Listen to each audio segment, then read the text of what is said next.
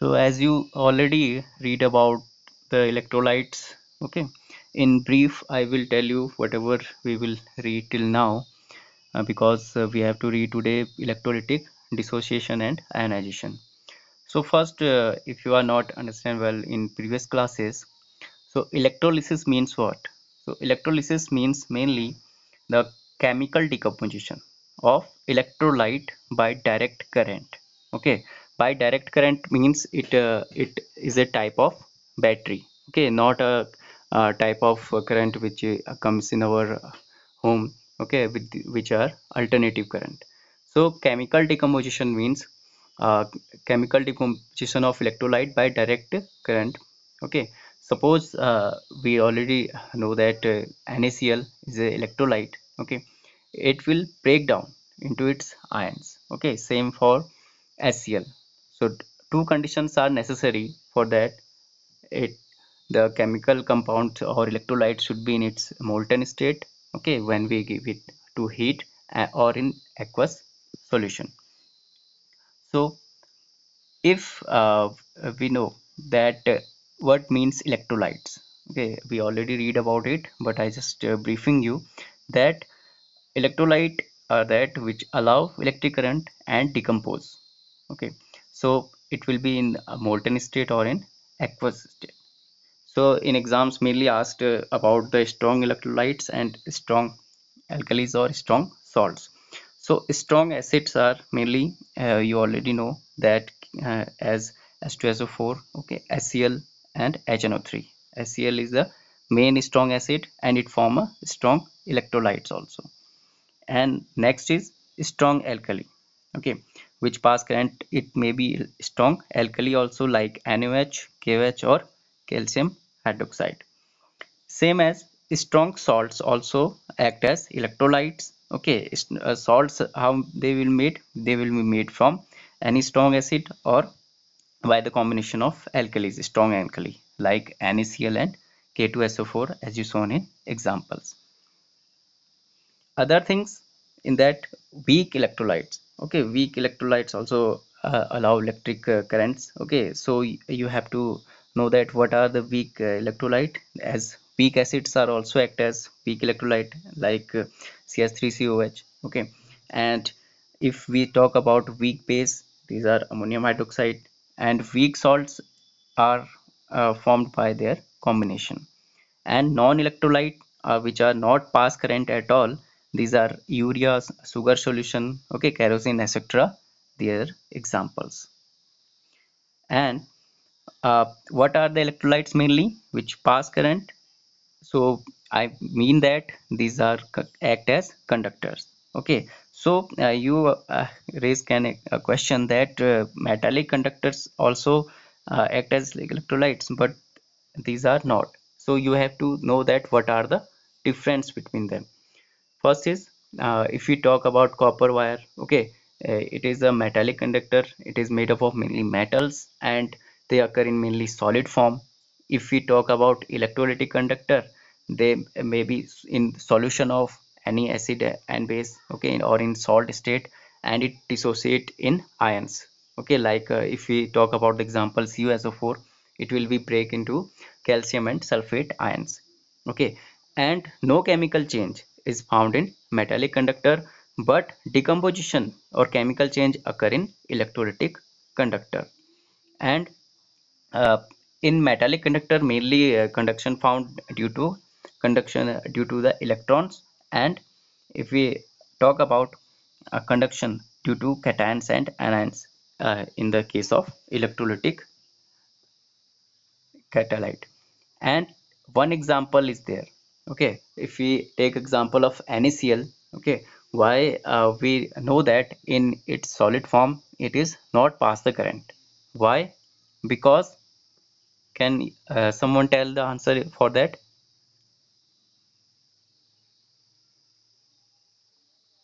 Why NaCl is not pass energy or pass current in its uh, solid form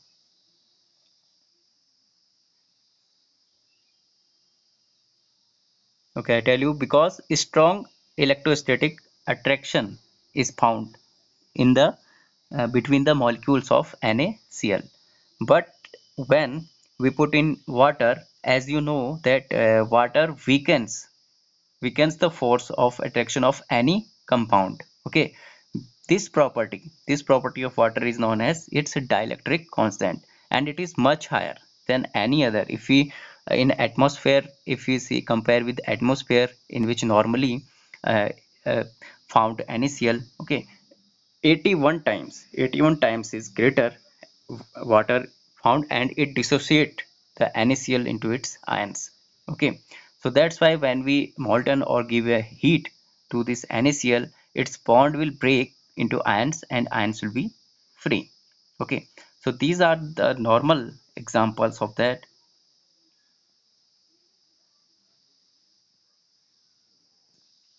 the process involving the separation of ions of an electron valent ionic compound in the fused state.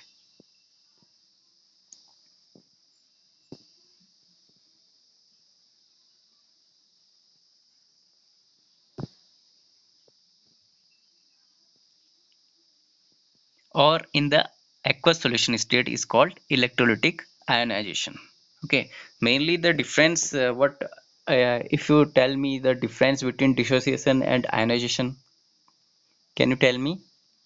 Anyone from you? What is the difference between this dissociation and ionization?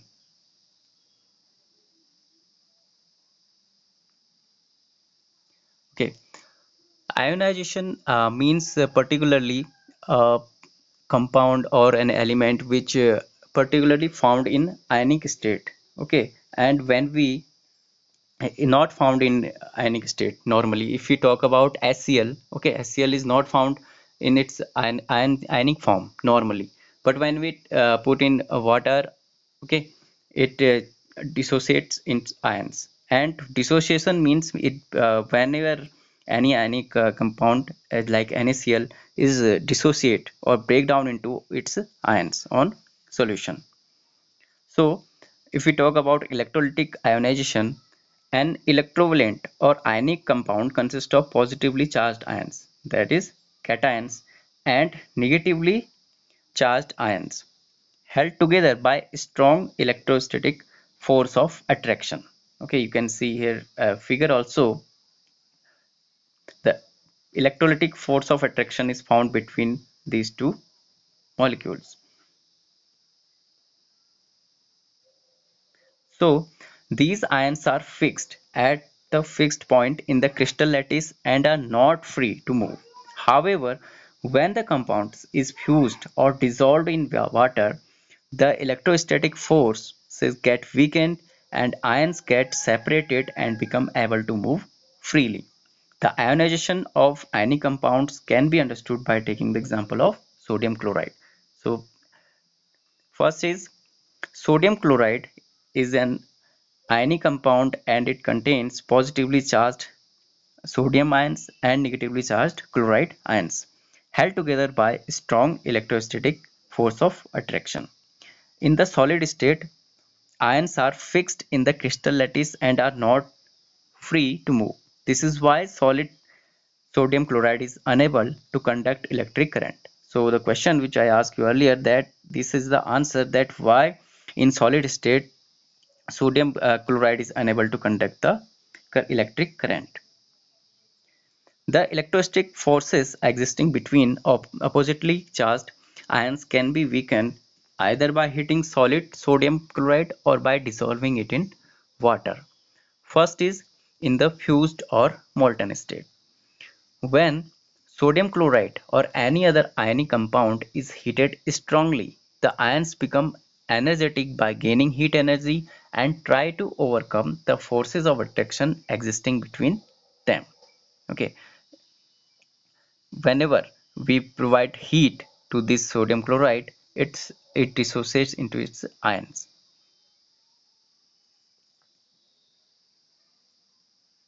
At the melting point, they acquire sufficient energy to weaken the forces of attraction to such an extent that ions set free and start moving in the molten mass.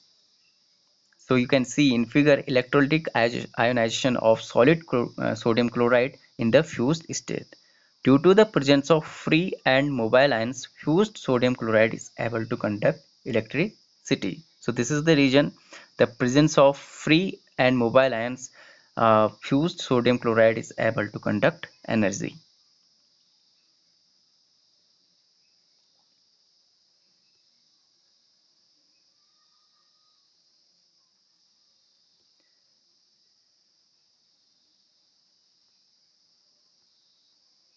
Next is in the aqueous solution state. Now we talk about the aqueous solution state of NaCl. Water as we know is a polar solvent and possesses a high, high value of dielectric constant. Okay, It helps in weakening the electrostatic forces of attraction existing between the ions in an ionic compound. Okay, so uh, water has a tendency to weakening the electrostatic force of attraction of any compound because it has a high elect dielectric constant it is uh, if we measure it it is 81 so electrostatic force of attraction sodium chloride in the solid state if you see then water uh, Na plus and its free ions in the aqueous solution get dissociates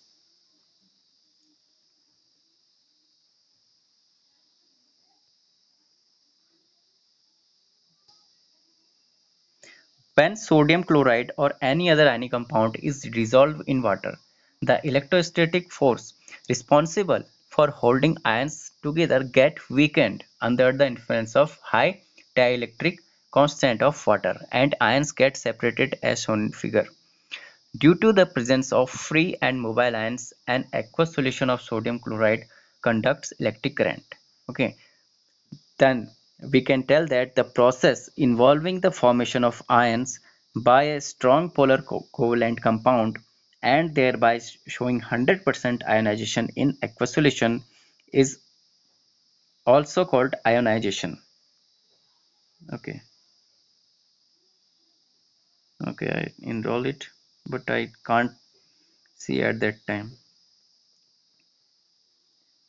Harshit Kala is not send me request now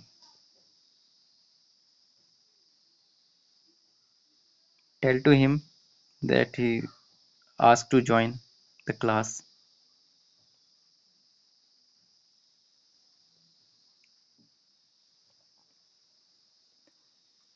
The molecule of a polar covalent compound in the gaseous state or in pure okay let here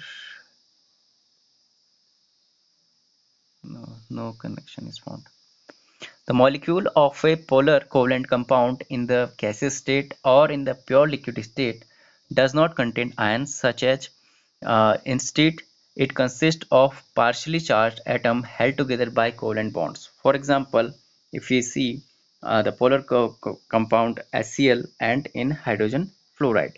Water is a polar covalent compound and consists of partially positive charged hydrogen atoms linked to a partially negative charged oxygen atom by a single covalent bond. Okay so it's for s2 also same thing.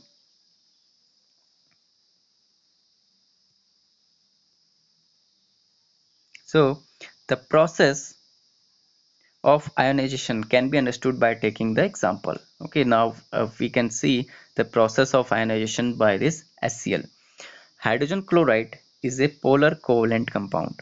It is Hydrogen chloride is a polar covalent compound. It is unionized in the gaseous state or in the pure liquid state. When it is dissolved in water, the partially negatively charged oxygen atoms of water molecules exert an electrostatic pull on partially positive charged hydrogen atoms of HCl. Okay, so you can see these uh, hydrogen partially positive charged hydrogen is pulled by this negatively charged oxygen. Okay this weakens the covalent bonds. Then the bond between these two covalent bond is weakens.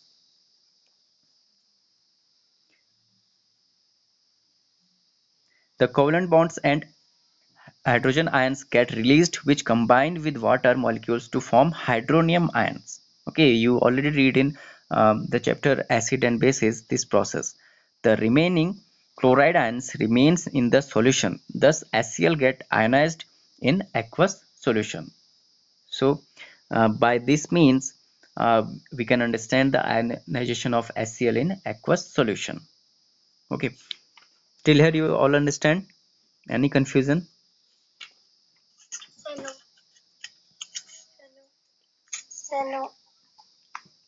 Okay, then we move to the dissociation. The process involving the formation of ions by weak polar covalent compound and thereby showing a partial dissociation involving equilibrium within dissociated ions. Okay equilibrium means saman sthit par with dissociate ions and undissociated molecules is called dissociation. Okay. When the ions are formed by weak polar covalent compound and thereby showing partial dissociation. Only partial dissociation is in, shown by the weak electrolytes such as cs3 acetic acid cs3 coh okay. So their dissociation uh, is uh, called uh, undissociated molecule is called dissociation.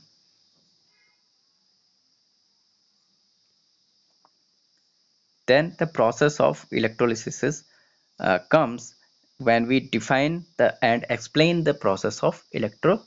The phenomenon in which passage of current through an electrolyte, molten or solution brings in chemical changes involving electronation or reduction. As we know that whenever electron in, is gained by some uh, molecule is the process of reduction take place as well as de-electronation. De-electronation means removal of electron oxidation is called of ions is known as electrolysis. Okay again i tell you the phenomenon in which passage of current through an electrolyte which is in its molten state or in solution state brings in chemical changes involving electronation or you can write this reduction as well as oxidation of ions is known as electrolysis. The apparatus where the changes undergo is known as electrolytic cell okay that's why this process is known as electrolysis because a cell is required for that. Okay it can be a, a, a coulometer okay or voltameter okay break ho raha uh, due to some network problem there.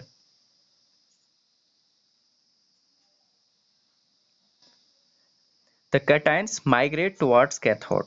Okay first uh, if you see in the process of uh, reduction uh, we already uh, seen uh, figure also okay when you see the cell uh, going further about the process okay after electrochemical series it will become. So uh, in physics also i think this type of chapter you have that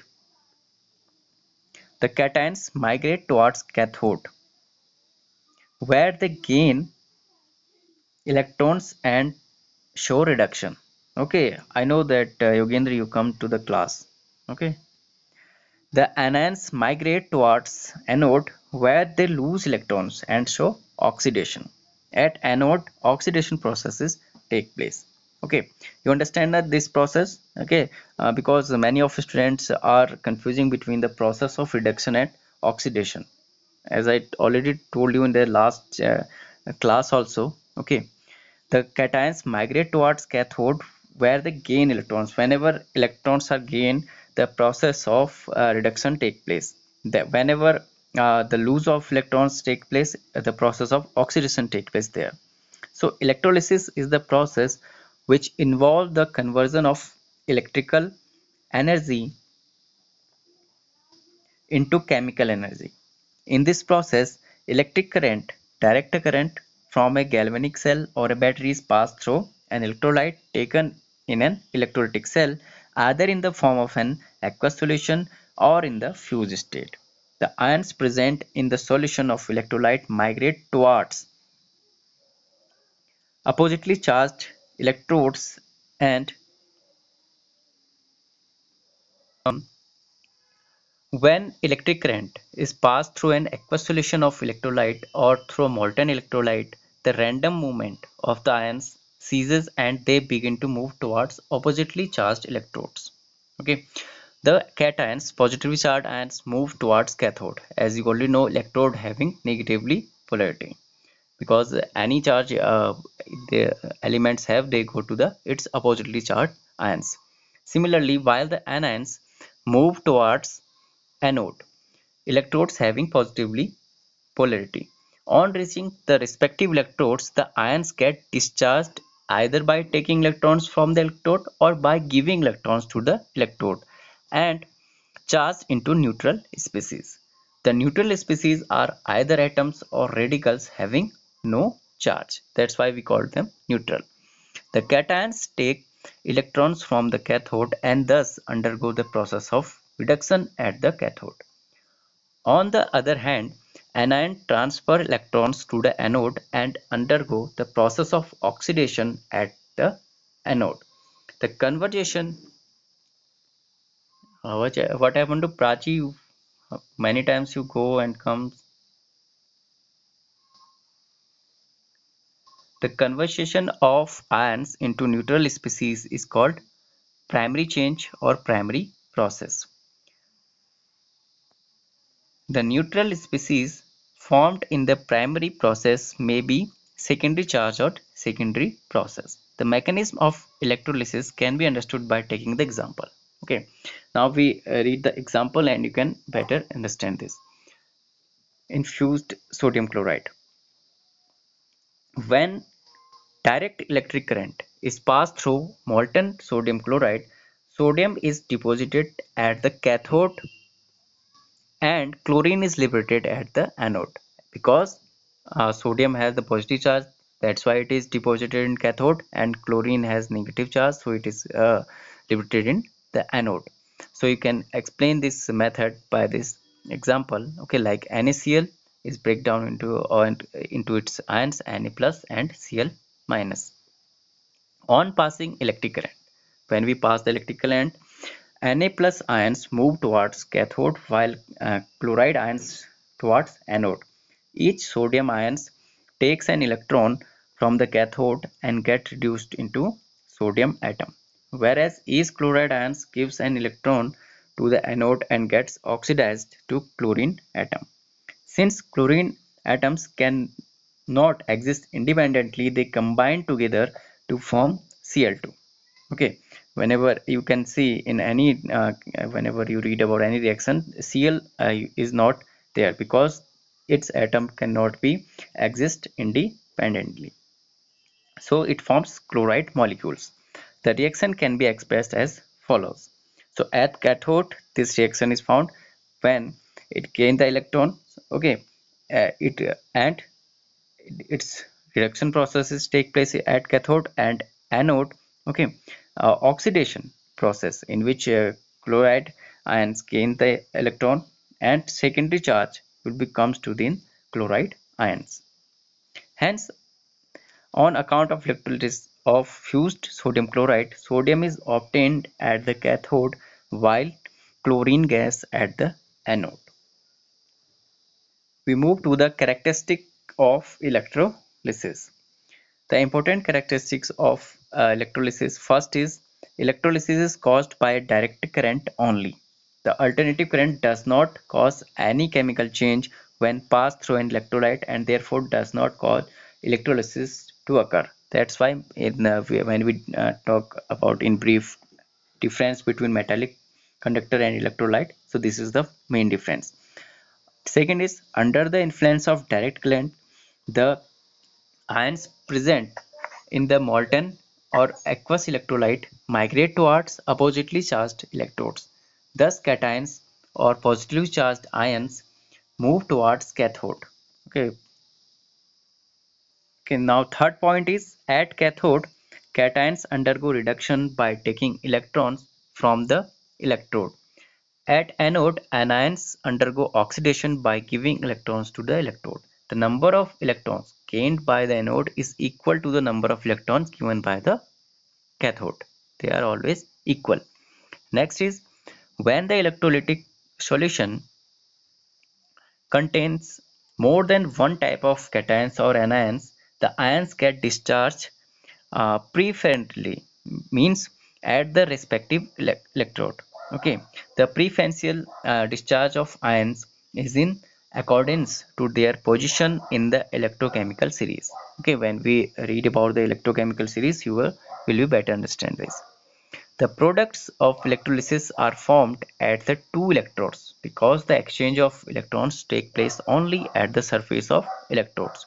Then hydrogen gas in most cases and metals are liberated at the cathode negative electrode. This is why they are referred to as electropositive elements. Non-metals get liberated at the anode positive electrode therefore they are termed as electronegative elements. So mainly non-metals are electronegative and metals are uh, generally electropositive elements. Now we move to the electrochemical series. Metals and electropositive in nature metals are electropositive in nature and lose one or more valence electrons to form cations however the ease with which metals lose their valence electron is different for different metals. Okay, for example, sodium loses its valence electron much more easily than silver. Okay, why this occur? That's why uh, we need to understand this electrochemical series. On the basis of ease with which metal lose their valence electron to form cations, the metals have been arranged in a series known as electrochemical series or metal activity series. This is also known as metal activity series. So what are the characteristics of this chemical series? First is the ease with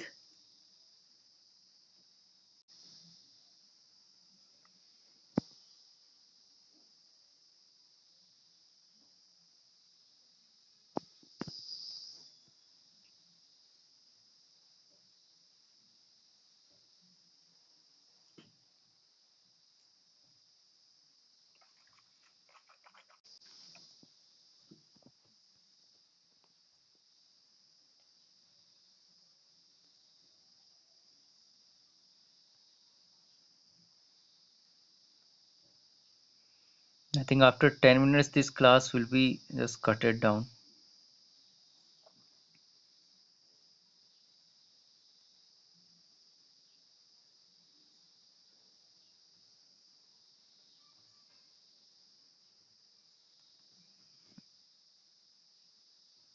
Okay, I think uh, this is a free version of that. Uh, that's why after 10 minutes, all participants uh, will be get leaved from the class.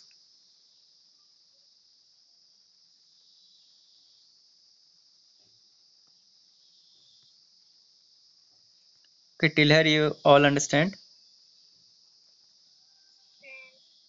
Okay. Yes.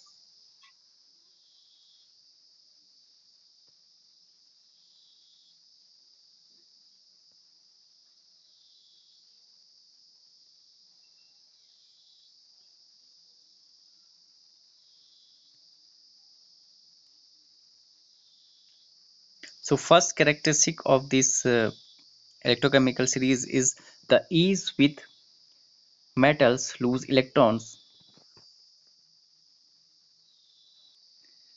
The ease with which metals lose electron to form cations decreases on moving down the series. Okay, I thought uh, you already uh, read about electrochemical series in your previous classes as well that in other words what you can say the tendency of metals to get oxidized decreasing on moving down in the chemical series okay when we move from up to down. The metal placed at the top that is lithium loses its valence electron most readily whereas the metal placed at the bottom that is platinum loses its valence electron most difficulty. Second is the ease of cations to gain electrons that is to get discharged at the cathode increasing on moving down the series. In other words the tendency of cations to get reduced that is to get discharged at the cathode during electrolysis increases. In other words the tendency of cation get uh, uh, reduced. Okay. Thus the cations placed at the top of the series that is lithium ions possess the least tendency to get uh, discharged at cathode.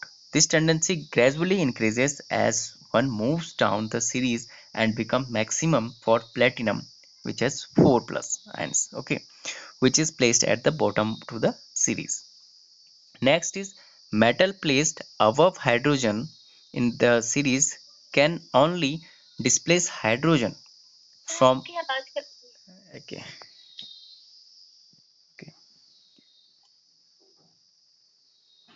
and net problem. Yes net is okay here but not so. Now is okay.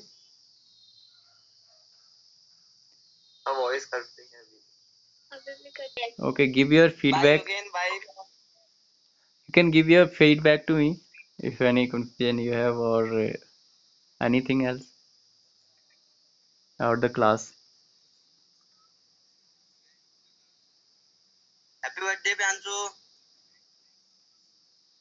Pransu I will come at night. Yes yes. You again I will also come